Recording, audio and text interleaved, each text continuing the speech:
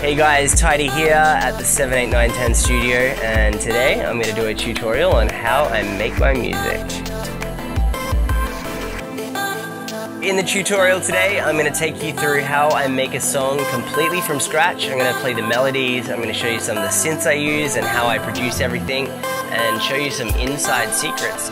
I had so much fun making this tutorial for you guys. I hope you love watching it and be sure to grab a copy today.